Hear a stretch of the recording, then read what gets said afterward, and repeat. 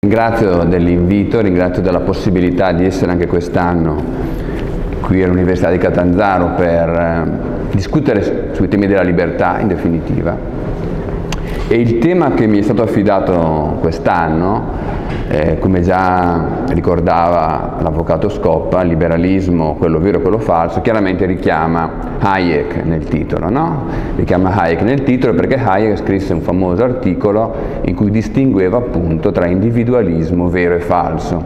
E come prima ricordava eh, l'avvocato Scoppa, appunto, in Hayek, questo importante autore del Novecento, questo economista ma poi anche filosofo del diritto, filosofo politico del Novecento, eh, c'è una distinzione molto netta tra un liberalismo appunto che lui riconduce alla tradizione anglosassone e quindi un liberalismo di tipo evolutivo che crede eh, nelle istituzioni come un risultato di un processo non voluto, quindi come un qualcosa che sfugge alla pianificazione di questo o quel soggetto, e invece un individualismo, eh, un individualismo appunto, e quindi anche un liberalismo razionalista, più continentale, tipicamente francese, che avrebbe appunto dei connotati molto razionalisti, cioè che si baserebbe su una forte enfasi sulla ragione umana e quindi sulla possibilità da parte dell'uomo di conoscere la realtà, la realtà sociale, sapere quello che va bene per questo o quel gruppo sociale e così via. Nella eh, distinzione che fa Hayek, soprattutto conoscendo quali erano le sue grandi passioni, gli autori che particolarmente amava e gli autori invece che particolarmente dire, considerava pericolosi o comunque lontani dalla propria ispirazione, appare del tutto evidente che quando Hayek parla di tradizione evolutiva anglosassone lui stia pensando soprattutto agli scozzesi, pensa a Hume contro Voltaire ad esempio, no? due illuminismi molto diversi, l'illuminismo scozzese e l'illuminismo invece francese ma pensa anche ovviamente da economista a un autore come Adam Smith, altro filosofo morale appunto eh, scozzese, oltre che padre dell'economia, e in generale pensa dall'altro lato invece a tutta la tradizione razionalista, sia francese che eh, tedesca. Ora, quella eh, distinzione in Nike è una distinzione classica che io credo abbia qualche punto di forza, credo che poi dire, quel tipo di riflessione abbia trovato dire, eco e comunque consonanze anche indipendenti dallo studio che, che Hayek ha fatto in altri autori importanti al Novecento penso appunto, si è citato prima tra le righe Popper, no? il discorso sul fallibilismo, quindi sul fatto che la nostra conoscenza è per forza di cosa sempre fallibile, ma anche un altro autore molto interessante, un autore inglese, Michael Oakeshott, che ha scritto un bellissimo saggio, recentemente tradotto anche in italiano, che si intitola Il razionalismo in politica, e che è un testo molto critico nei riguardi appunto da un lato del razionalismo, quindi nella prima parte del saggio parla di Francis Bacon, di Bacone, di Cartesi, ma poi soprattutto della traduzione traduzione di quel tipo di pensiero in ambito politico, cioè la pretesa di conoscere in maniera definitiva, certa, una serie di cose, di costruire a partire dalla società. Bene, credo che l'analisi di Hayek sia interessante, credo anche però che eh, sia per certi aspetti contestabile la riflessione di Hayek. Perché? Perché se c'è sicuramente, per riprendere appunto il titolo, un'espressione forte di Hayek che è stata usata anche come titolo di un, di un suo libro, nella traduzione italiana quantomeno, se c'è un abuso della ragione, e Hayek sottolinea questo fatto, no? che noi tendiamo ad abusare della ragione, cioè a fare un uso eh, non corretto della nostra ragione, ad attribuire alla nostra ragione delle capacità, delle potenzialità che la ragione non ha, la nostra ragione appunto è limitata, Credo però che ci sia anche, e questo è il punto, mi pare, di debolezza della prospettiva di Hayek, se volete, un abuso del dubbio, no? Cioè credo che se c'è un errore razionalista può esserci anche un errore scettico, un errore, come dire, eh, che può essere bene espresso da chi non comprende l'importanza, il ruolo, la forza che può avere eh, la ragione umana. Quindi se è vero da un lato che eh, si può arrivare ad esiti illiberali attraverso un'eccessiva esaltazione della ragione umana, è altrettanto vero che si può arrivare a esiti illiberali attraverso un discredito della ragione umana, perché una prospettiva scettica è una prospettiva poi che pone ben pochi argomenti a tutela delle nostre libertà. Se non siamo in grado di esprimerci con ragionevolezza, con una ragionevole dire, convinzione in difesa di nulla, è chiaro che anche le nostre libertà i nostri diritti sono evidentemente molto fragili, esposti a qualunque tipo di aggressione. D'altro canto, se guardiamo poi la tradizione del liberalismo, se guardiamo la storia del liberalismo, beh, i quadri di, concettuali di Hayek non funzionano esattamente. Perché? Perché un autore fondamentale per il liberalismo, un autore da cui non si può prescindere, come John Locke, ad esempio, non era affatto un autore scettico o relativista, no? anzi aveva una forte eh, comprensione del ruolo della ragione umana. Un altro autore fondamentale, che è stato il maestro eh, di Hayek stesso, cioè Ludwig von Mises, aveva una forte idea della ragione umana. Tutta l'azione umana, il suo testo più importante, è costruito a partire da alcuni principi, alcuni assiomi che sono considerati come assolutamente certi, a partire da lì c'è una costruzione molto solida. E d'altro canto anche la collocazione geografica dei due individualismi o dei due liberalismi non funziona perfettamente nel senso che all'interno ovviamente della, della tradizione anglosassone troviamo autori che Hayek e i liberali classici non riconoscono come appartenenti alla propria scuola e tradizione, penso a John Stuart Mill ad esempio, e invece all'interno del mondo francese e in parte anche in quello tedesco troviamo molti autori veramente liberali, decisa, dire, fondamentali per il liberalismo, pensate solo a un economista come Jean-Baptiste Say o, o anche Frédéric Bastiat e così via, per non parlare di Constant, Tocqueville, eccetera. Quindi la distinzione interessante offre alcuni spunti importanti, la riflessione di Hayek è indubbiamente utile, ma la mia idea di ciò che, di ciò che è liberale e ciò che non è liberale, degli autori che sono liberali, che non sono liberali, segue un'altra prospettiva rispetto a quella che, che Hayek traccia. E nel libro, eh, Liberali e non, eh, credo che emerga con una certa chiarezza. Devo dire anche qualcosa su come è nato questo libro. Questo libro ha avuto un'origine un po' occasionale, diciamo così. Perché? Perché è una rivista, che, una rivista indirizzata ai professori delle scuole superiori, si chiama La Nuova Secondaria, mi aveva chiesto un paio di anni fa di preparare dei, così, medaglioni, delle presentazioni di alcuni autori del pensiero politico e mi aveva chiesto di presentarli a coppie, cioè di presentarli appunto in bianco e nero, in contrasto. No? E dopo 15 di queste puntate, arrivati a 30 autori, eh, gli stessi responsabili di questa rivista hanno detto ma tutto sommato è venuta fuori una storia, una, quasi una storia del pensiero politico, potremmo riunire questi libri, eh, questi, scusate, questi articoli e farne una specie di libro. Ed è, difatti questa è l'origine del libro, è un libro che non ho mai scritto in qualche modo come libro, ma che mi sono trovato eh, tra le mani eh, dopo questo lavoro appunto, eh, che era una specie di spada di Damocle mensile che mi imponeva di far pervenire tutti i mesi appunto eh, due ritratti di due autori fondamentali.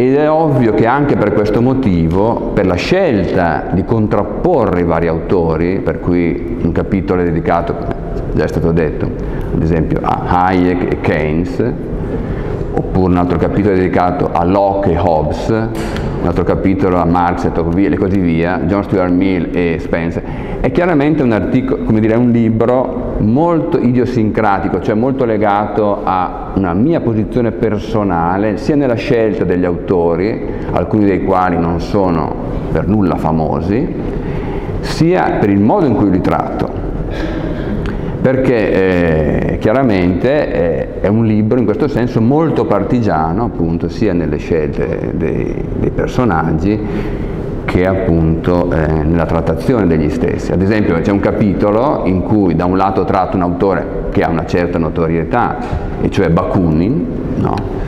Che è una figura importante del, dell'anarchismo ottocentesco, autore russo che poi ha avuto anche certa, un certo ruolo nella storia italiana, c'è anche un romanzo di Bacchelli, Il diavolo a Ponte Lungo, in cui si racconta i suoi tentativi di insurrezione anarchica in Italia e così via. E a Bakunin contrappongo un autore che pochi conoscono in Italia, cioè Lisander Spooner, che è un anarchico individualista liberale americano, proprio per cercare di mostrare come eh, le tesi dell'anarchia possono essere state lette in senso antiliberale da un autore come Bakunin, ma anche Kropotkin e altri, e invece in senso fortemente liberale da alcuni autori, non solo Spooner, oltre Atlantico. Quindi questo libro è composto da coppie di autori, in qualche caso eh, si tratta di liberali e non liberali, per cui il primo capitolo ad esempio è dedicato a Colbert e, o il secondo forse, secondo Colbert e Adam Smith. È chiarissimo che Adam Smith è un autore importante per la tradizione liberale e Colbert evidentemente no, è uno dire, dei costruttori in ambito economico dello Stato assoluto, ma in altri, in altri casi si tratta invece di contrapporre appunto autori che io considero liberali davvero e autori che sono normalmente considerati liberali ma che io non considero tali. Per cui a questo punto si entra davvero in, per certi aspetti si è costretti a discutere cosa sia il liberalismo e in maniera direi ancora più interessante cos'è la libertà. Ed è chiaramente un conflitto di tipo in parte culturale, se volete di filosofia politica, cos'è il liberalismo, cos'è la libertà, in parte anche, come vedremo, un conflitto terminologico. Cioè, c'è attorno a alcune parole da tempo una battaglia, perché la parola libertà chiaramente è una parola che piace, che piace in generale, ma che piace poi a chi si occupa di questi temi, la lettura che si dà eh, di questo tema, di questo termine concetto, è evidentemente molto diversa. Quindi si tratta di capire il liberalismo come teoria della libertà, eh, come deve essere inteso, eh, a quale liberalismo in qualche modo noi possiamo rivolgerci con interesse oggi per affrontare i problemi del nostro tempo. Chiaramente è un conflitto anche teorico, nella parte finale della mia relazione mi soffermerò brevemente su questa, sulla questione, ed è anche un conflitto storico, questo di fatto è un testo di storia del pensiero, di storia della dottrina, che cerca appunto di individuare, al di là delle, delle autodefinizioni, che cos'è il liberalismo e quindi in qualche modo che cosa non è liberale che cosa magari pretende di essere liberale e secondo me evidentemente tutto va sempre inteso a partire dalla formula secondo me non è liberale. Allora mi rifaccio un po' alcuni eh, dei temi che i vari autori obbligano a prendere in considerazione. La prima questione, forse la più pesante nel nostro tempo, quando si parla di liberalismo, soprattutto per il ruolo che ovviamente la cultura anglosassone, quindi inglese a partire dall'Ottocento, ma poi americana a un certo punto, no? ha avuto nella società occidentale, in generale nel mondo, la questione decisiva è che in Europa tradizionalmente, a partire dall'Ottocento, 1800 esatto, eh, l'anno dopo il 1799, l'anno prima 1801, si è cominciato in Spagna a parlare di liberalismo, la parola appare, ma quando la parola appare fondamentalmente nell'arco di qualche anno, qualche decennio, questo termine sta ad indicare una teoria volta a proteggere la società, gli individui, le comunità spontanee dal potere dello Stato. E ancora oggi quando si parla di liberalismo in Europa fondamentalmente ci si riferisce a questo. Nel mondo americano però, nel mondo inglese e poi nel mondo americano, la parola liberalism, cioè la versione appunto in inglese di questo termine, ha presto assunto un significato diverso eh, per usare una formula di Giovanni Sartori, potremmo dire che per certi aspetti i liberals americani sono i socialisti di un paese che non ha conosciuto il socialismo. In larga misura, durante le campagne elettorali, il candidato diciamo, eh, dei democratici si sforza di convincere l'elettorato di non essere un liberal, cioè di non essere un pericoloso estremista di sinistra, appunto per cercare di conquistare voti moderati, voti del centro. Cosa è successo allora dal punto di vista terminologico nel momento in cui essere un liberal in America vuol dire essere appunto un fautore di un forte intervento dello Stato, fondamentalmente un avversario della civiltà eh, di mercato occidentale e così via, molto spesso, che quello che in Europa viene chiamato liberalismo, o un aggettivo liberale, eh, in America, nella tradizione di lingua inglese, è individuato attraverso altri termini. Un termine è liberalismo classico, classical liberalism, come dire c'è questo liberalismo moderno, ma una volta il liberalismo stava a indicare altre cose, al tempo di Jefferson, al tempo di questi autori, stava a indicare la tutela della proprietà privata, della libertà di scambio, diritti individuali e così via. Oppure autori che non riconosceremo liberali, come liberali per loro idee, fondamentalmente per loro visione, alcune volte si definiscono conservative, cioè conservatori. Conservatori di cosa? Ma conservatori di una società liberale che dopo il New Deal, dopo tutta una serie di cose, ha perso molti dei suoi tratti. Un altro termine che è emerso nel mondo appunto di lingua inglese a indicare quello che da noi tutto sommato continua a essere indicato attraverso il termine liberale è libertariano, libertarianism, e cioè la traduzione italiana libertario, poi voglio dire è difficile tradurre queste cose. Questo sarebbe grosso modo quello che è successo a livello terminologico nel mondo di lingua inglese. Le cose però sono complicate anche da noi, sempre di più, perché? Ma perché è ovvio che l'uso del termine libera e liberalism nel mondo anglosassone a indicare posizioni diciamo, che oggi non riconosceremo come di sinistra, di forte intervento dello Stato, di redistribuzione tendenzialmente egualitarie, non può non avere conseguenza anche sul nostro lessico. D'altro canto, se pensiamo al più importante, probabilmente il più importante filosofo politico, espressione di questa tradizione, cioè John Rawls, dobbiamo tenere presente che quando si decise di tradurre in italiano, come era importante fare, ci mancherebbe, John Rawls, i suoi articoli e poi anche una teoria della giustizia, che è il suo testo forse più importante, la scelta terminologica che fu fatta di fronte al termine liberal e liberalismo fu quella appunto di scegliere liberale e liberalismo. Sebastiano Maffettone, che è appunto un filosofo politico italiano, quando traduce Rawls e quindi introduce questi temi nel nostro dibattito, usa il termine liberale e liberalismo per indicare appunto libera e liberalismo. Questo chiaramente è un problema molto serio, non solo come dire lessicale, ma anche come dire eh, concettuale, ed è un problema comunque che ha radici profonde perché eh, la difficoltà come dire, a distinguere il liberalismo classico, cioè che crede nella proprietà privata e nello scambio, pensa che le istituzioni debbano porsi essenzialmente il compito di tutelare questo, e invece un liberalismo che crede in un forte intervento dello Stato, redistributivo, organizzativo a fini egualitari, non è qualcosa di recente in realtà, perché se già leggiamo, dicevo già prima, John Stuart Mill, cioè un autore fondamentale della cultura inglese dell'Ottocento, quel tipo di prospettiva nuova di questo liberalismo moderno, diciamo, che viene apattico al socialismo, è già del tutto evidente. Per cui al di là della questione terminologica c'è una questione sostanziale proprio di qualcosa che è successo non solo nella cultura anglosassone ma nella cultura occidentale in generale. C'è stato un declino progressivo del liberalismo, in senso proprio, del liberalismo classico, e l'avvento appunto di una visione dello Stato, della politica, del potere di tipo diverso. Questo è un primo problema. Probabilmente la questione decisiva di fronte alla quale ci troviamo, non solo terminologicamente, ma sostanzialmente.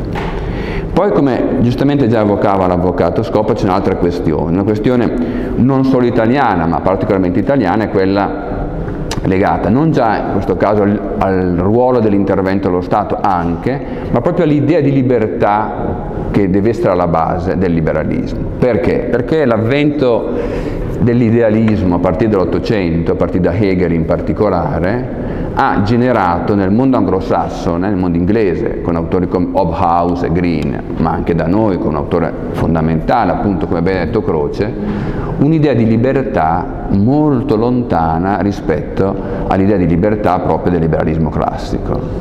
Quando il liberalismo non ha più come obiettivo la, la tutela dell'autonomia della persona come soggetto proprietario, come soggetto in grado di avere contratti con gli altri, di scambiare e così via, ma invece si propone l'obiettivo di una liberazione in senso forte, no? come può essere intesa appunto eh, dall'idealismo, è chiaro che il liberalismo finisce per assumere tratti molto diversi. E allora se prendete ad esempio un testo che ha avuto nel passato una grande influenza sulla nostra cultura, cioè la storia del liberalismo europeo di Guido De Ruggero, che già nel titolo è interessante per la nostra discussione, no? perché parla di storia del liberalismo europeo, ebbene De Ruggero da Croce, da Crociano, scusate, pone al centro della sua riflessione un autore come Hegel.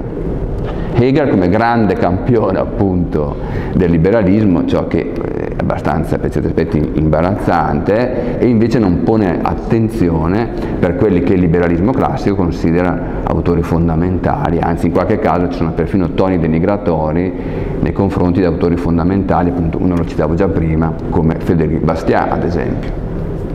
Ed è chiaro che la polemica già prima ricordata tra Croce e Inaudi affonda appunto le proprie radici in quest'idea.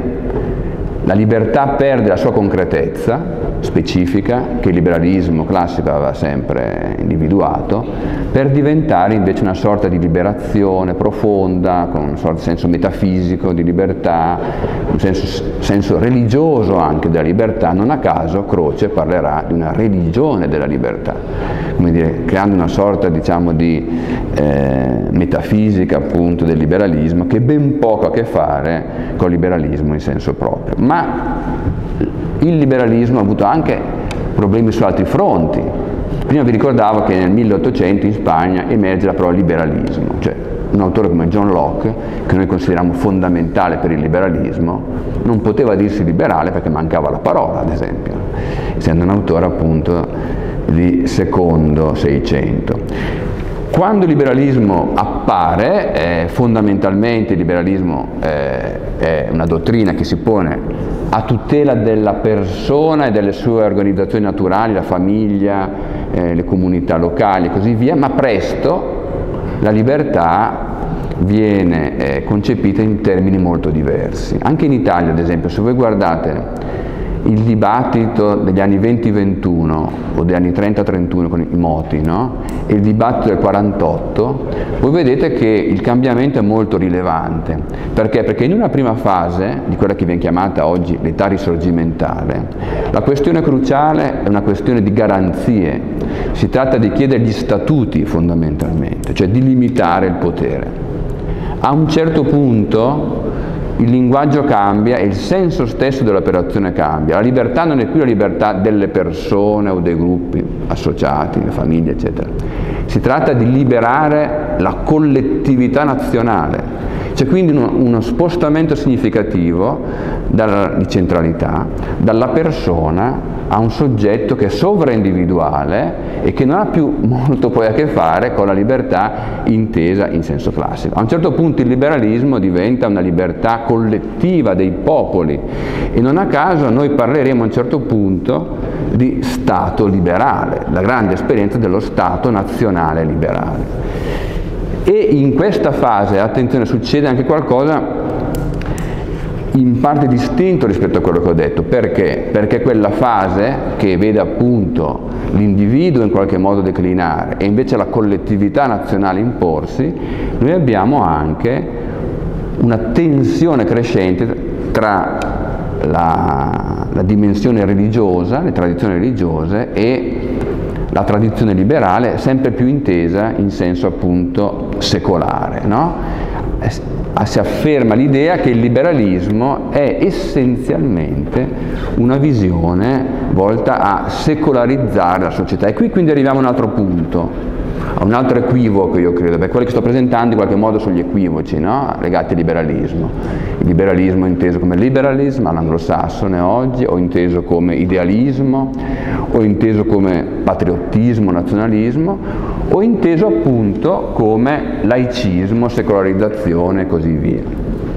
Perché? Perché c'è tutta una serie di autori che vedono appunto nel liberalismo che cosa? Un processo di neutralizzazione eh, delle istituzioni. In particolare c'è un testo che tra l'altro ora è pubblicato da, da un importante editore calabrese, cioè Rubettino, un autore, eh, di un autore francese, che si chiama Pierre Manin, che si chiama Storia del liberalismo, eh, che parte non a caso da Machiavelli, che poi tratta Hobbes, e poi insiste molto non a caso su Constant perché? Perché in questa storia bizzarra del liberalismo l'elemento essenziale è che sarebbe liberale ciò che va, come dire, a creare una distanza sempre maggiore tra le istituzioni e tutto ciò che appartiene in definitiva all'ordine della tradizione etico-religiosa, ciò che progressivamente edifica delle istituzioni che non hanno nulla a che fare con quelle che sono le tradizioni, eh, in particolare evidentemente in Europa, cristiane e specificamente direi, trattandosi di un autore francese, eccetera, cattoliche. Ecco, io credo che queste versioni del liberalismo che vi ho ricordato brevemente eh, siano scorrette e molti degli autori che io identifico come non liberali, anche se magari si definiscono tali, esattamente si collocano in questa prospettiva. E come io intendo in questo testo eh, il liberalismo, o il liberalismo classico, per usare questa formula, essenzialmente lo intendo come una sorta di resistenza e reazione, se volete, di fronte allo Stato moderno. Io in questo testo sono molto esplicito nel dire che non è pensabile il liberalismo al di fuori della modernità europea fondamentalmente. Perché? Perché il liberalismo è una dottrina politica che ha un suo senso, che ha una sua ragione d'essere, di fronte all'avvento di questa entità del tutto nuova, che è appunto lo Stato moderno, che a partire da una serie di episodi storici evidentemente e anche a partire da una serie di esperienze intellettuali, da, da Bodena, Hobbes e così via, si definisce come sovrana rispetto alla società. Ebbene, nella lettura che ne do io, il liberalismo è questa resistenza della società di fronte alle pretese sovrane le pretese sovrane di un singolo, di una casata inizialmente, e successivamente le pretese sovrane di qualcuno che si dire, candida a interpretare la collettività nel suo insieme, cioè i parlamenti, la collettività e così via. E in definitiva quindi per me il liberalismo classico è la teoria politica della resistenza della società di fronte al potere. Una resistenza che ha delle logiche ben precise che si concretizzano nella tutela della proprietà di fronte all'esproprio, del mercato di fronte alla regolazione. Il potere tende a progressivamente espropriare, il potere tende progressivamente ad asservire. La proprietà e il mercato sono appunto le aree dell'autonomia della persona e della società. E nella mia lettura il liberalismo è una prospettiva molto realista, fondamentalmente, la prospettiva antiutopica, cioè che accetta il reale per com'è, non immagina, come dire, eh, di raddrizzare il legno storto, per usare l'immagine di Kant, non ha bisogno di uomini eh, angeli o cose di questo tipo, ma proprio perché parte da un'analisi realista di quello che è l'uomo, di quell'impasto curioso di bene e male che è ognuno di noi, afferma in maniera molto netta la necessità di rigettare ogni forma di dirigismo, ogni forma di pianificazione, ogni forma come dire, di celebrazione dei poteri pubblici, proprio perché eh, come dire, siamo uomini noi, ma sono uomini anche evidentemente quanti sono chiamati nelle nostre istituzioni a dirigerci, a pianificare la nostra vita e così via. Quindi nella mia lettura il liberalismo è tipicamente moderno, è solo moderno, non ha senso a mio parere parlare di un liberalismo ad Atene o un liberalismo a Roma o nel Medioevo e al tempo stesso per certi aspetti il liberalismo è antimoderno se noi consideriamo come, dire, come tratto cruciale appunto della modernità e forse come tratto più caratteristico della modernità l'affermazione, il trionfo dello Stato. E quindi il Medioevo non può essere in nessun senso liberale perché non c'è lo Stato, ad esempio. Nell'ordine medievale, un ordine complesso fatto di città, di feudi, imperatore, chiesa, eccetera, nel momento in cui lo Stato, che è moderno, lo Stato sovrano non esiste, un tema, c'è un problema di libertà se volete a vari livelli, ma non c'è un problema di liberalismo. E allora se le cose stanno così, nella mia lettura, il liberalismo è una parte importante degli ultimi 4-5 secoli, ma è anche in un certo senso la modernità perdente, la modernità sconfitta. Perché? Perché cos'è stato il Novecento? Il Novecento è stato fondamentalmente il secolo del trionfo di ciò che liberale non è. È stato il trionfo, dire, delle ideologie totalitarie, nella versione nazista, nella versione socialista, è stato il trionfo anche nel campo, diciamo, dei regimi rappresentativi democratici di un progressivo interventismo, di un'espansione del potere statale. Pensate che in Italia, ad esempio, noi abbiamo conosciuto un aumento di ben 5 volte della spesa pubblica, dell'intervento statale, del prelievo fiscale e così via. Quindi il potere diciamo, del ceto politico burocratico sulla società è cresciuto 5 volte.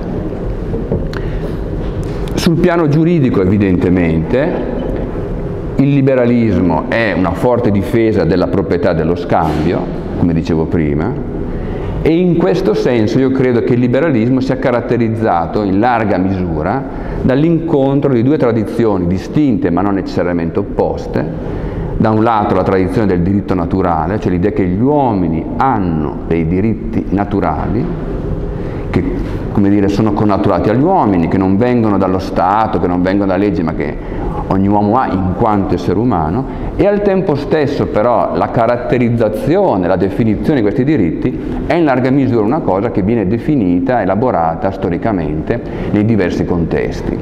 Sul piano economico evidentemente per me il liberalismo è essenzialmente la difesa dell'ordine spontaneo, dell'economia naturale, quindi del mercato, di fronte alla pretesa di un'economia costruita, di un'economia pianificata, l'idea come dire che la complessità della nostra società avanzata è possibile solo attraverso decisioni locali prese da ognuno di noi come imprenditore, come consumatore e così via, laddove la follia del Novecento, soprattutto nelle sue versioni estreme, staliniane, leniniste, polpottiane, eccetera, è quella appunto di una società eh, come dire, pensata come la proiezione delle idee che questo quel soggetto ha nella propria testa e quindi liberale è ciò che difende il mercato dal punto di vista economico contro la pianificazione, contro la redistribuzione, contro la regolazione. E sul piano politico, beh, sul piano politico liberale è ciò che in un modo o nell'altro cerca di individuare delle istituzioni che limitino il potere. Allora qui chiaramente la, le possibilità sono diverse, una grande scommessa tra, della tradizione liberale e qualche autore che io ho antologizzato su questo ha investito molto, è la tradizione del costituzionalismo evidentemente. Vi dicevo già prima che nella prima metà, nei primi decenni diciamo, dell'Ottocento, di fronte dire, ai regimi della restaurazione, l'atteggiamento dei liberali è quello di chiedere statuti, cioè di chiedere garanzie, di chiedere una limitazione del potere e l'idea di un potere limitato attraverso una super legge che, dire, limiti la possibilità di fare legge o di fare certi tipi di legge. Autori come Montesquieu, Constant Tocqueville di fatto si muovono in questa prospettiva. Ora questa prospettiva è interessante, a mio parere, credo che traspaia molto bene dal libro, ha in sé qualcosa di paradossale. Ha in sé qualcosa di paradossale perché immaginare una sovranità limitata è qualcosa di, di molto difficile. C'è una bella battuta di un autore contemporaneo, eh, d'origine ungherese, ma che ha scritto tutti i suoi libri in inglese, che di fatto è anglicizzato, si chiama Anthony de Jazet, il quale parlando della Costituzione una volta disse ma la Costituzione è una generosa utopia liberale, no? si vuole mettere una cintura di castità al potere, Così, sapete che sulle castitano al tempo delle crociate, i crociati andavano, cercavano di, limitare così, l'attività sessuale della moglie che rimaneva a casa. Il problema è che, eh, dice De Jazet, i politici hanno la chiave. Possiamo anche mettere la cintura di castità, i politici hanno la chiave cosa vuol dire? Che possono ignorare la Costituzione, interpretarla, modificarla e così via. Non dimentichiamo mai che eh, uno dei re peggiori regimi, se non il peggiore che la storia abbia conosciuto, cioè il nazismo in Germania, eh, viene, si costruisce a partire da una istituzione, eh, da, una, da, una, Costituzione di Weimar e, e, e Hitler arriva al potere eh, in maniera del tutto legale attraverso elezioni e così via. È chiaro che allora esiste anche un'altra prospettiva all'interno della tradizione liberale, che è quella che non tanto crede a una sovranità che si limita, che è un paradosso, perché se il sovrano è sovrano, come a essere limitato? Sovrano presuppone, dire, la capacità di decidere in, quando c'è lo stato di eccezione, di decidere in stato di eccezione, quindi implica un'assolutezza per definizione. Allora, l'altra prospettiva è quella che crede invece nella concorrenza istituzionale, nel pluralismo istituzionale. Allora questi autori sono gli autori più estremi che trovate nel testo, prima ne ho citato uno, cioè Lisander Spooner, eh, che so sosteneva ad esempio che la Costituzione americana era invalida ed era invalida perché poteva essere valida per quelli che l'avevano discussa e sottoscritta allora, ma erano tutti morti e non potevano certo pretendere di vincolare l'esistenza di persone venute dopo, per cui c'è una bella frase, eh, non a caso appunto di Jefferson, di questa tradizione, che dice le mani dei morti non possono disporre dell'esistenza dei vivi. C'è qualcuno che è esistito decenni fa, che ha fatto delle cose, non può certo pensare di vincolare per sempre la nostra esistenza ma altri autori sono Spencer o un autore importante di secondo Novecento come Murray Rothbard che è il teorico probabilmente più importante del cosiddetto anarcocapitalismo.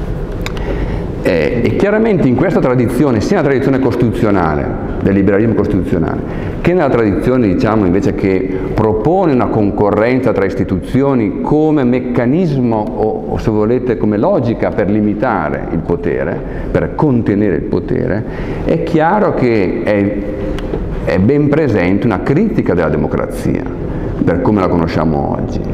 Cioè è forte l'idea che quando noi oggi parliamo di democrazia, di cosa stiamo parlando?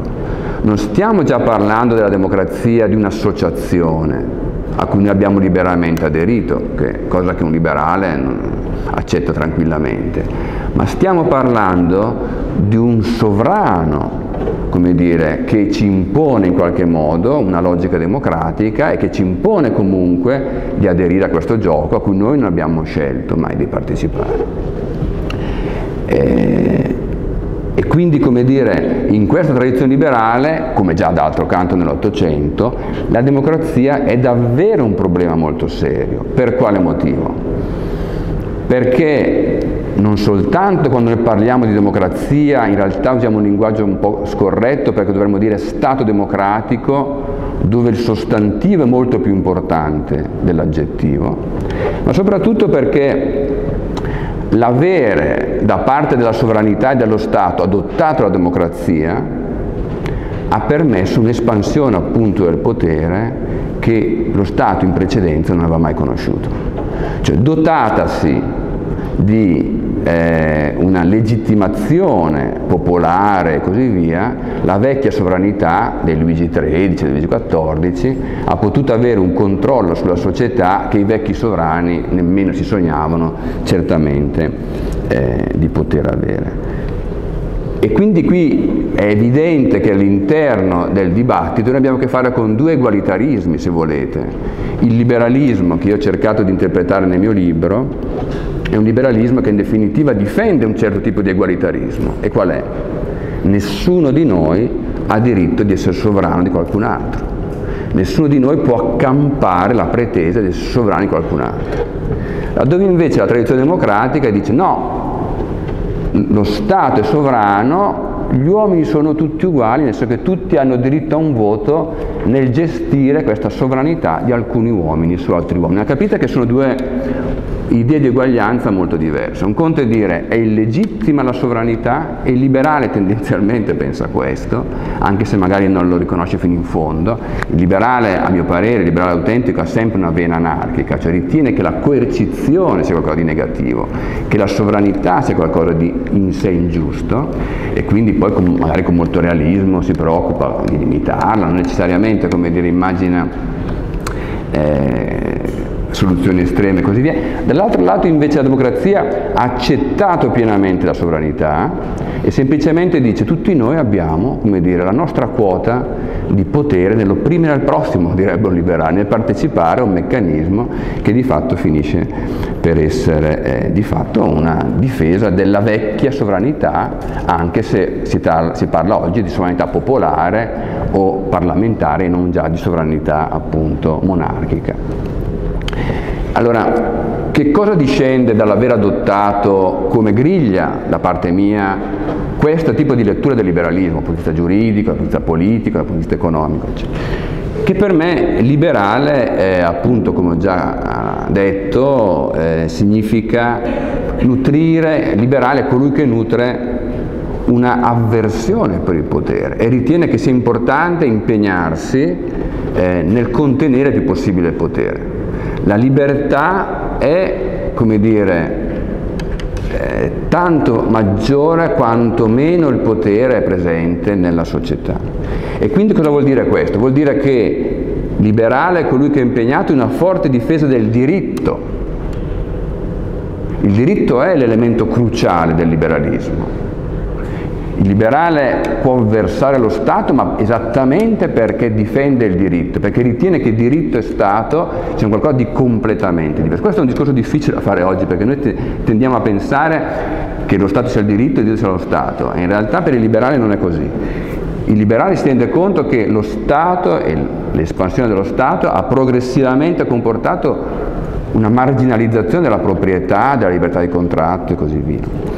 E poi, altro elemento importante, una forte valorizzazione della società, della capacità di tutti noi di interagire con gli altri, quindi della comunità, della famiglia, dei gruppi religiosi. E questo tra l'altro mi permette di rilacciarmi a quello che dicevo prima, un liberale autentico, che sia religioso o no, soggettivamente non è importante, è orientato a valorizzare le esperienze forti perché si rende conto che le esperienze forti, anche di tipo religioso, sono un elemento di resistenza di fronte al potere. Faccio solo un esempio tanto per capire. In America da anni si è sviluppata una tendenza molto forte, ormai riguarda milioni di persone, che si chiama homeschooling, cioè ci sono milioni di persone che non mandano i bambini nelle scuole pubbliche o private, ma che gestiscono in famiglia o con gruppi di famiglie l'educazione dei figli. È un movimento importante, molto legato per certi aspetti non solo ma in larga misura legato a, al mondo evangelico fondamentalmente, di persone che non si riconoscono molto nella cultura degli insegnanti americani, quindi non vogliono come dire mandare i loro figli in scuole dove avrebbero un tipo di cultura che, che, non è condivisa e che decidono di farsi carico in prima persona de, non solo dell'educazione ma anche dell'istruzione dei figli. Bene, sapete da dove nasce tutto questo? Questo nasce da, da una sentenza della Corte Suprema che fu chiamata a decidere in merito agli Amish. Gli Amish, sapete, sono quella comunità anabattista, eccetera. Allora, gli Amish per ragioni evidenti legate alla sopravvivenza, fecero resistenza di fronte all'obbligo, perché fu introdotto l'obbligo in America fino ai 18 anni è di istruzione per, per i giovani, resistenza di fronte al fatto di mandare i loro figli nelle scuole, perché si rendevano conto che se i loro figli fino ai 18 anni fossero andati nelle scuole normali, l'universo Amish sarebbe sparito, perché sarebbero stati totalmente dire, normalizzati dalla cultura prevalente in America e ovviamente furono condannati, ma fecero ricorso e arrivarono fino alla Corte Suprema. E la Corte Suprema decise a favore della libertà di educazione nelle famiglie.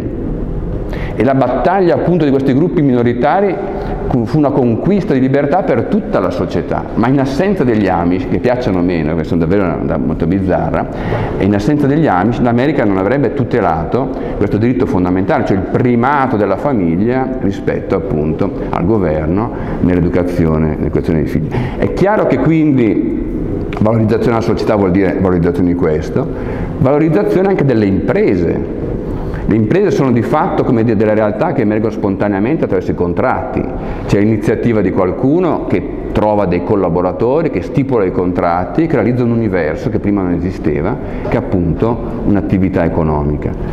Valorizzazione anche, e questo può sembrare bizzarro, delle corporazioni, perché no, delle associazioni di categoria, se non diventano evidentemente degli strumenti per introdurre nuove regole a carico di tutti, limitazioni, eccetera.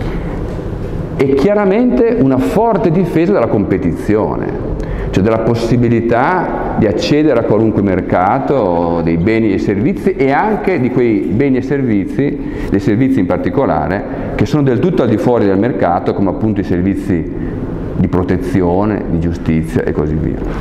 Ecco, cosa c'è sullo sfondo di questa mia riflessione? Ovviamente c'è una certa idea della libertà del potere. Vengo qui alla parte, se volete, più teorica.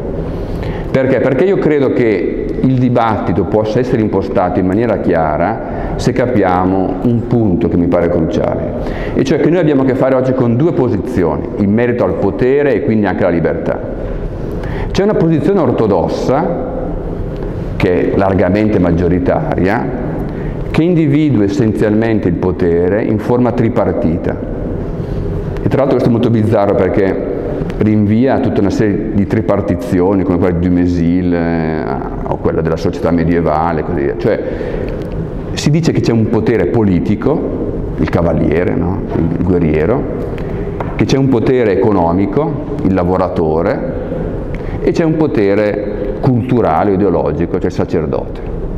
E tutti questi tre, questi tre ruoli, tre funzioni fondamentali della società, che tanti antropologi, studiosi hanno rinvenuto nel tempo, sarebbero, per la visione ortodossa, poteri e sarebbero quindi in qualche modo minacce per la libertà. Questo è importante.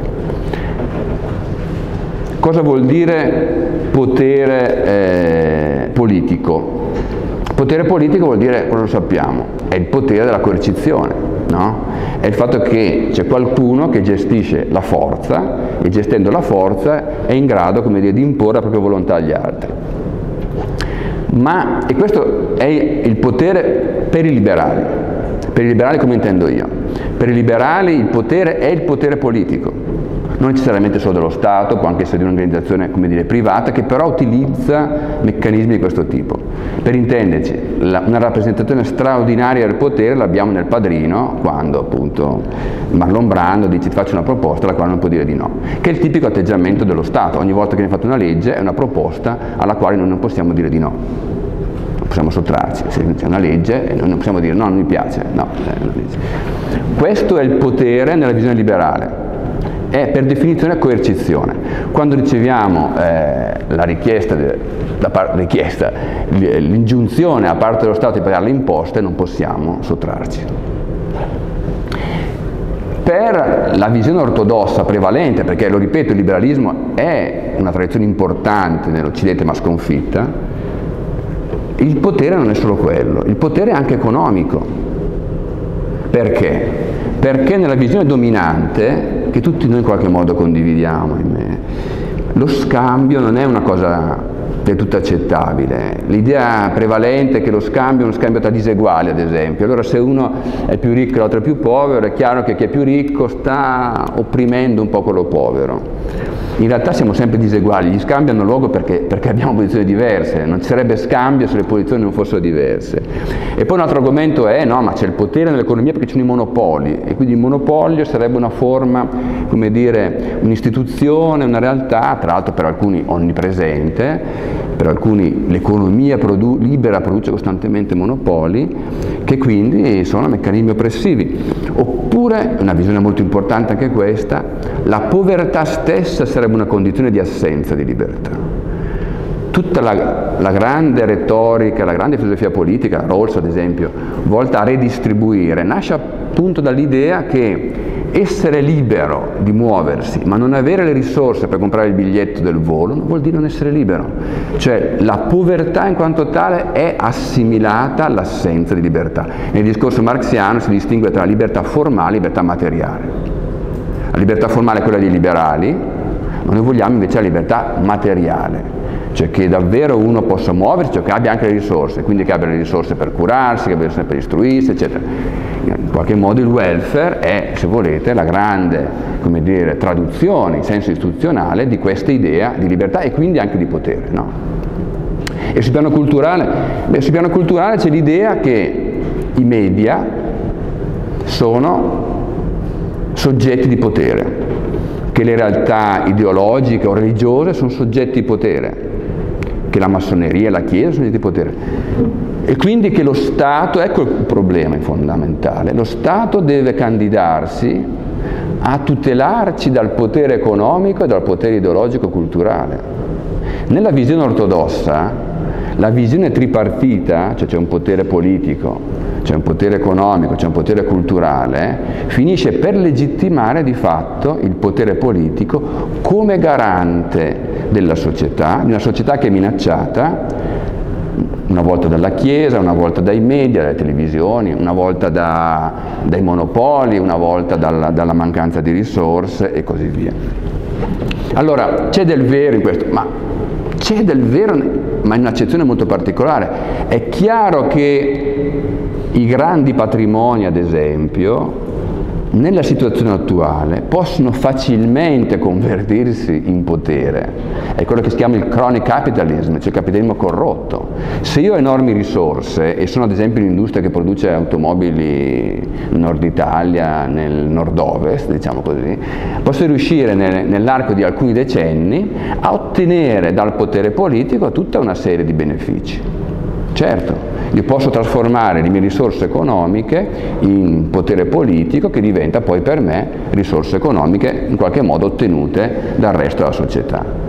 Questo vale per il cosiddetto potere economico, vale anche per il potere culturale. Se io sono una grande agenzia culturale, che sia la massoneria, la chiesa, come volete voi, o dei media, posso, per la mia influenza che ho sul potere politico, ottenere tutta una serie, come dire, di eh, protezioni o fermare una certa idea e così via. Ma quello che i liberali dicono è che la ricchezza e l'economia in quanto tale non sono un potere in sé, la grande impresa può propormi i suoi prodotti, ma non può impormi di comprarli. La Chiesa può propormi di, di, andare a messa, ma non può impormi di andare a messa. Nel momento in cui mi imponesse andare a messa diventa un potere politico, deve disporre in qualche modo del potere politico. E d'altro canto, se guardiamo anche alle nostre vicende degli ultimi decenni, pensate al tema delle televisioni, ad esempio, si dice il potere delle televisioni. Il potere delle televisioni è un potere, perché certamente è anche un potere, ma perché sono creati dei meccanismi, pensate solo alla legge Mammì, che hanno chiuso il mercato. Se la legge Mammì non avesse detto ci possono essere in Italia solo 12 televisioni a livello nazionale, e per anni siamo andati avanti in questi termini, è chiaro che avremmo avuto dire, un mercato più ampio e quindi anche una diciamo, minore eh, capacità di impatto di alcuni soggetti sulla nostra società. Pensate alla religione di Stato, soprattutto nei paesi nordici, ma comunque tutte le intersezioni eh, tra dimensione religiosa e dimensione politica. Hanno avuto luogo perché c'era il potere politico e perché alcune agenzie culturali e religiose hanno potuto utilizzare quel potere politico. Pensate al protezionismo, che è un tipico classico dire, utilizzo da parte di alcuni gruppi economici del potere politico per i propri fini. Pensate agli aiuti pubblici alle imprese e così via. Quindi la tesi forte, secondo me, de, su cui i liberali devono insistere è che la ricchezza e la cultura, l'universo dell'economia e l'universo delle idee, non sono di per sé realtà aggressive. Cioè, avere delle risorse e avere delle idee non significa avere un potere sugli altri può, può significare offrire delle opportunità, avere una certa autorevolezza magari, ma diventano potere, quindi limitazione della libertà, solo quando si innestano sul potere pubblico, cioè sulla capacità di fare ricorso alla coercizione. La visione ortodossa evidentemente è una visione fortissima, è una visione vincente, tant'è che è molto difficile no, che le idee che io ho presentato vengano appunto accolte, proprio perché è difficile per noi separare i diversi ambiti non siamo in grado dire, di cogliere lo specifico della dimensione economica, lo specifico della dimensione culturale. Però certamente io credo che si sia in grado di cogliere una cosa, e cioè che è davvero paradossale che per tutelare le nostre libertà noi si pretenda di fare appello a quello che è ed è stato il principale, come dire, negatore delle nostre libertà, cioè lo Stato. Cioè alla luce di quello che è successo negli ultimi secoli, in particolare nel corso del Novecento, credo che davvero sia irragionevole pensare che lo Stato possa essere il difensore degli orfani e delle vedove quando, la storia ci insegna, è stato il maggior produttore eh, de, degli uni e delle altre. No?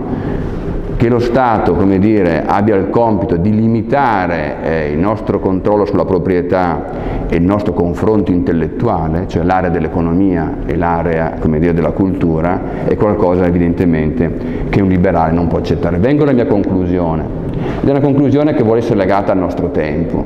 Dobbiamo prendere atto appunto di quello che dicevo all'inizio, cioè che il liberalismo è una parte importante della nostra storia, ma una parte sconfitta. Però dobbiamo anche prendere atto di una cosa, cioè che il Novecento è stata un'epoca di fallimenti fondamentalmente. Abbiamo conosciuto il fallimento della pace con le due grandi guerre, abbiamo conosciuto il fallimento del socialismo realizzato col Club di Berlino e ora stiamo conoscendo il fallimento del welfare, cioè degli stati democratici interventisti.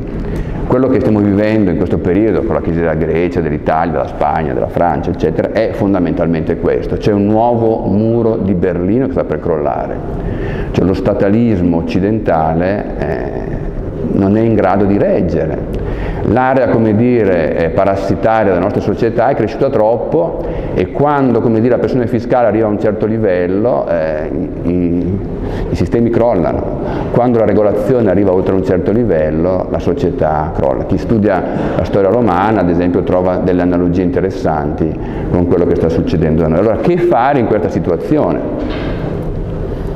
Ci sono alcune cose da fare, non tantissime. La prima è chiaramente una battaglia culturale, per cui incontri come questi credo che siano importanti. Cominciare a ragionare, cominciare a prendere atto che eh, deresponsabilizzare la società, come dire, continuare a prestare fede alla teologia politica che si è imposta in questi secoli, cioè la sacralizzazione delle istituzioni che la sovranità rappresenta, è qualcosa eh, di terribilmente pericoloso e sbagliato, eh, che, che distrugge il futuro e che obbliga sempre più i nostri giovani ad esempio a emigrare. Ed è chiaro in questo senso che c'è un ruolo fondamentale delle elite intellettuali. È importante che eh, ci sia un ricambio proprio di prospettiva delle elite intellettuali. Se avremo, come dire, nei prossimi decenni un'intellettualità diversa, è chiaro che potremo avere anche in prospettiva prospettive migliori. C'è poi chiaramente, secondo punto, a mio parere, l'esigenza di una resistenza di fronte a questa situazione. Bisogna che i perdenti di questa, di questa realtà, di questo, di, questo, mondo, si organizzino c'è bisogno di una resistenza civile e economica, voglio dire, eh, c'è bisogno, come dire, che ci si opponga e si organizzi. Non è facile, non è facile perché non è facile organizzare i disorganizzati. Lo Stato agisce sempre eh, privilegiando interessi concentrati e distribuendo gli oneri e, e poi sticipando i costi, pensate al debito pubblico. No? Allora è chiaro che noi siamo quasi sempre nella parte dei perdenti in minima misura, offrendo un contributo minimo, e ogni tanto tocca a noi di godere il beneficio di essere i, beneficiari di un ingiusto privilegio il più delle volte. Però ecco, quindi è difficile disorganizzare questo tipo di resistenza, però è possibile farlo, eh? è possibile farlo, dire, le società che sanno meglio resistere di fronte al potere sono quelle che ogni tanto prendono del tè e lo buttano in acqua, no? come è successo appunto col Boston Tea Party. Eh, che come dire, ci sia una resistenza di fronte a un'oppressione eh, troppo alta, una spesa pubblica fuori controllo e così via. C'è poi credo un'altra cosa molto importante da tenere in considerazione, proprio perché io credo fermamente che sul piano istituzionale più che una limitazione di tipo costituzionale sia importante una concorrenza tra istituzioni, credo che una battaglia cruciale sia da fare di fronte a quello che potremmo indicare con termini di globalismo giuridico. Perché? Perché non solo noi stiamo conoscendo la crisi degli stati nazionali oggi, ma in questa crisi le classi politiche stanno cercando di, da questa crisi stanno cercando di uscire spostando dire, le competenze e i poteri ancora più lontano da noi. Il progetto dell'Europa Unita, di uno Stato in prospettiva di 600 milioni di persone, è appunto quello di una riduzione ulteriore della concorrenza, non più 25, 28 o 30 paesi con diverse regole, eccetera, ma un unico paese, come dire, in qualche modo sempre più unificato e sempre più ovviamente del tutto fuori dal nostro controllo. Quindi bisogna capire la minaccia in atto, quindi che a livello europeo, ma addirittura per certi aspetti a livello globale, perché è chiaro che l'ONU si candida in prospettiva a diventare una sorta di federazione, di federazioni, eccetera, ma anche io direi capire il fallimento epocale dello Stato nazionale e credere come dire, nella necessità di una disgregazione degli Stati, cioè avvicinare sempre più il potere ai cittadini, responsabilizzare sempre più le comunità, mettere concorrenza fra di loro. Credere come dire, nella cultura dell'indipendenza e non della dipendenza, della capacità appunto di amministrarsi, gestirsi da sé in concorrenza con gli altri. A me capita da, da qualche tempo di frequentare un paese, sono di Brescia, molto, abbastanza vicino a casa mia, che è la Svizzera e frequentare la Svizzera apre un po' gli occhi per un motivo molto semplice, perché la Svizzera è un paese di 8 milioni di abitanti, che è più piccolo della Lombardia, e che è diviso in 26 cantoni, cioè 26 stati con loro eh, tassazione, con loro giurisdizione.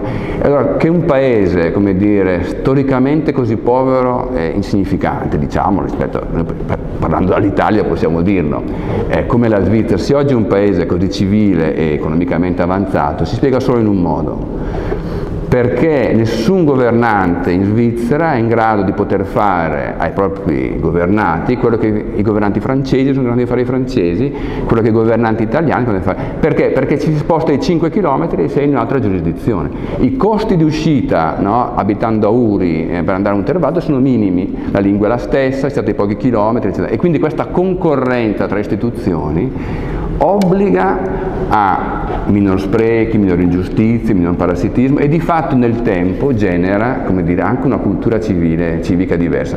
È davvero scioccante per un lombardo come me andare in Ticino, perché il Ticino è da tutti i punti di vista una specie di periferia, se volete, di Milano, ma è completamente diverso. È completamente diverso perché le istituzioni nel tempo di fatto generano dire, comportamenti, un civismo, delle cose di, di tutt'altro tipo. E allora ecco che avvicinare il potere al, alla gente vuol dire indebolire il potere, vuol dire, dire renderlo eh, dire, più facilmente controllabile. In definitiva, e qui chiudo, a me sembra chiaro che il liberalismo si ponga come obiettivo la tutela dei diritti individuali e individui essenzialmente come strumento la concorrenza istituzionale, cioè la possibilità di opporre potere a potere. Questo può voler significare qualcosa sul piano territoriale, come dicevo prima, e cioè tanti territori, ognuno dei quali autonomi, responsabilizzato, eccetera, può significare qualcosa anche a livello, qui chiudo, non territoriale. Questo è un tema molto interessante, però meriterebbe da solo tutta, tutto un seminario. Pensate solo al tema del, della moneta. È un tema affascinante questo, no? perché c'è la concorrenza tra territori, ma c'è anche una concorrenza che va al di là dei territori. Da qualche tempo si, si parla di monete elettroniche, avete sentito parlare di bitcoin ad esempio, ma ormai stanno sorgendo tantissime altre monete sulla falsariga del bitcoin che si propongono a tutti noi come alternative rispetto dire, alla moneta fiduciaria di Stato, che sia l'euro o che sia la sterlina, sia e questa è un'altra strada fondamentale perché non c'è solo la concorrenza dei territori, c'è anche dire, una concorrenza che va al di là dei territori. Questo è tanto più importante in una società come la nostra, in cui l'informatica ha un ruolo fondamentale, in cui la capacità di muoversi è sempre maggiore, in cui l'interconnessione è sempre maggiore. E allora ecco che eh, la situazione, quello che volevo dire in definitiva, la situazione è veramente triste da tanti punti di vista, eh, siamo davvero alla fine di una storia complicata e siamo, come dire, in un'Europa che da parecchio tempo sta declinando e che sta perdendo posizioni e in particolare in Italia siamo in un certo senso nell'epicentro eh, di questa crisi, ma le possibilità ci sono, la storia non si ferma mai, eh, la storia non si ferma mai, credo che il liberalismo abbia ancora, come dire, tante cose da dire e credo che come dire, stia a noi in definitiva cercare di tradurre le potenzialità eh, che la teoria liberale ha in qualcosa di, di effettivo, di qualcosa che può davvero servirci a da un lato essere più liberi e di conseguenza io dico anche poter vivere in una società più civile e più prospera. Vi ringrazio per l'attenzione.